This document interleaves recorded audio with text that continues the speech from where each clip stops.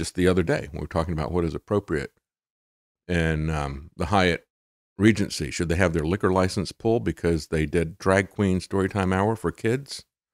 Uh, let kids attend. And uh, it wasn't a storytime hour, it was a Christmas special uh, with um, Rudolph, who was uh, vulgarly dressed and, and a man deer, as they pointed out. And um, and I said, look, look at what they do in casinos, right? You don't even, you know, you got to like quickly look and walk around the perimeter or something like that to see people gambling and use it as an object lesson. I did it with my sons when they were young as well. Gambling is a big problem, though. Gambling addiction now through sports betting is really hitting a lot of young men. They say sports betting is now fully legal in 36 states. And the states are making a lot of money from it. You know, they tax it. Nevada pulled in more than $61 million in taxes in 2020. New Jersey, 118 million. Pennsylvania, 124 million. That was in 2021. And now it's gotten so big that in just the first three months of 2023, they're already making more than they did for the entire year two years ago. It's exploding. New Jersey had already earned $72 million in tax revenue. New York had made 209 million. And Pennsylvania had already taken in 58 million in just the first three months. According to Roundhill Investments, Americans placed over $93 billion in legal sports bets in 2022 alone. I mean, they're even talking about putting sports bets on professional wrestling, which is scripted like the elections. um, in 2021, the most recent year for which data is available calls to the helpline run by the National Council on Problem Gambling, a gaming industry supported group. So they, they, they uh, it's kind of like buying a carbon credit, right? Oh, well, you know, please give me an indulgence for my sin. Uh, we're fleecing people by the hundreds of billions of dollars. So let's put a little bit of money into a gambling addiction fund. Uh, so the um, Calls to that helpline rose by 43%. Texts increased by 53%. Chats jumped 84% to that hotline. And so Newsweek did an article about it. And what I thought was interesting was they said, you know, why is this a problem for young adults, especially? Well, the physiology, they said, of young adults who are still a work in development, it adds to the risk that sports betting will become problematic for them. Young people, particularly those under the age of 25, still have underdeveloped brains that make them predisposed to addiction, particularly gambling addiction. Well, addiction of any kind. And uh, so we look at this and say, yeah, we acknowledge that for some things, don't we?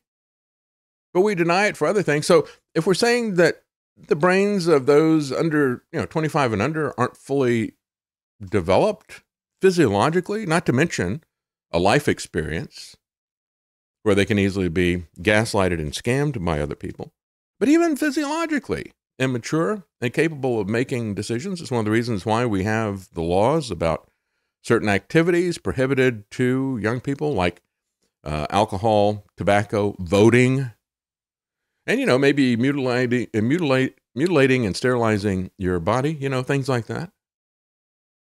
Now, how in the world can we put all that aside? The manipulation about gender of these people. That is a lot more prevalent than gambling. I don't see every time you look at any entertainment, I don't see gambling being uh, being pushed to us by Hollywood. You know, successful gamblers too, right? They'll all be successful. Nobody ever loses. You know, the House loses all the time, you know, in a situation. That's the way they'd have to do it. If you had a parallel to what's going on with LGBT, you would have uh, to push gambling. You would have uh, at least two or three gambling characters in each one, and the story would have to be modified to squeeze that, shoehorn that in. And um, then uh, all the gamblers would win all the time. And then you would have the schools, you know, teaching kids in kindergarten about blackjack and uh, and poker and all the rest of this stuff, right? You'd have little roulette wheels and pre kindergarten because you know they just watch the thing go around and You know, that, that would be the analogy. That's not happening. And yet it's still very, very powerful. Think about how powerful this LGBT stuff is. Because then you're not just playing on people's judgment, you're playing on, and it's not the pre kindergarten kids and the kids in kindergarten. They don't have any sexual urges. It gets even more dangerous when you get into junior high school and high school, uh, when other things start kicking in. Uh, and that's, that's why you, know, you look at what what uh, Florida is doing. You know, they've made it illegal from K through uh, third grade, and now they're coming back and saying, you know, maybe we need to modify that. We need to. We didn't include pre-K, and so the teacher is saying, we didn't say anything about me doing pre-kindergarten. You know, I can start these little kids at three years old. I can start them with all this uh, rainbow unicorn stuff and the gingerbread man and all these other things at pre-K. So now they're saying, well, maybe we ought to extend this and make it pre K through eighth grade. The Florida School Board, which is not a legislative body, it writes rules, it's a bureaucracy that writes rules.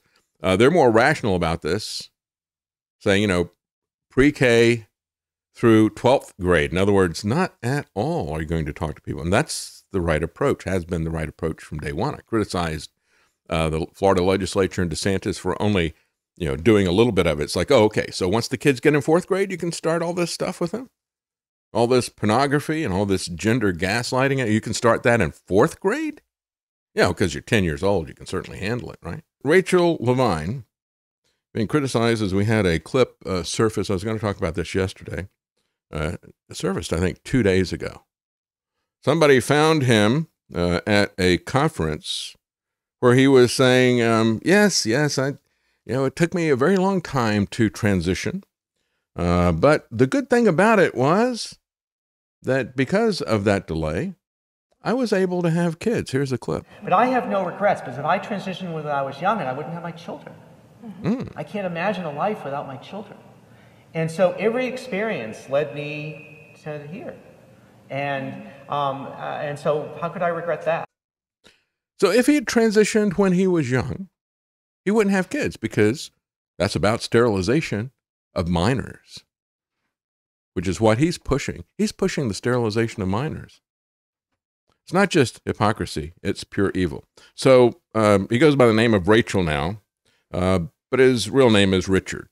And so here is Dick Levine uh, when he was um, with a family. He is with his wife and two kids. He's so glad that he didn't uh, change anything until after he had kids.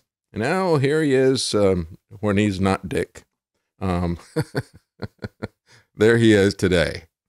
There he is today. At least he's got his hair pulled back instead of the uh, the mess that he usually has there. Uh, so he says um, people ripping him online for pure hypocrisy. It is. After having admitted to waiting to have children, uh, before gender transitioning, despite currently pushing to normalize it for very young children. And um, hormone therapies, mutilation, all the rest of that stuff, that's gender affirming. Those people shouldn't have that generation shouldn't have kids. And you understand where this is coming from as well, right? All just as I was talking about.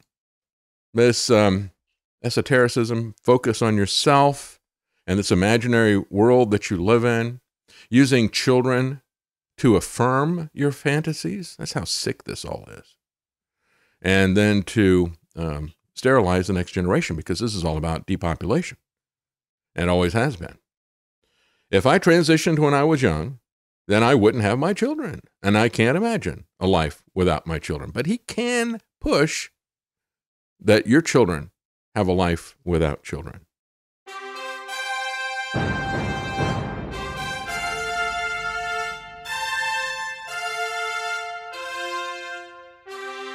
The Common man.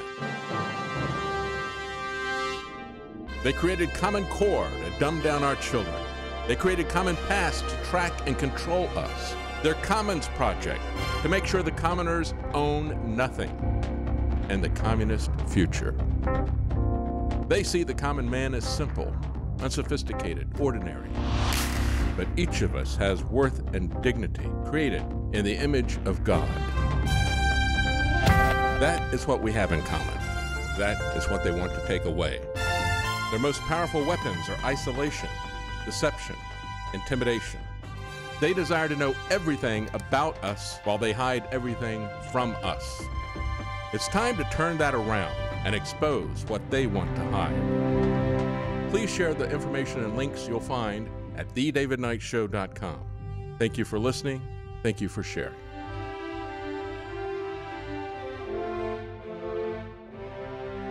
If you can't support us financially, please keep us in your prayers. TheDavidKnightShow.com